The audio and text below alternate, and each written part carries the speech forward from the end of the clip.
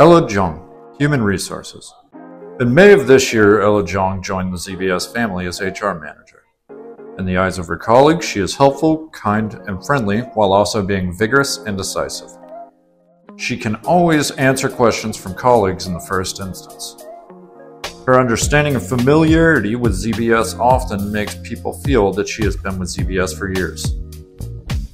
Eric Schofield, POS Deployment. Eric is a POS deployment technician who also joined in May of this year.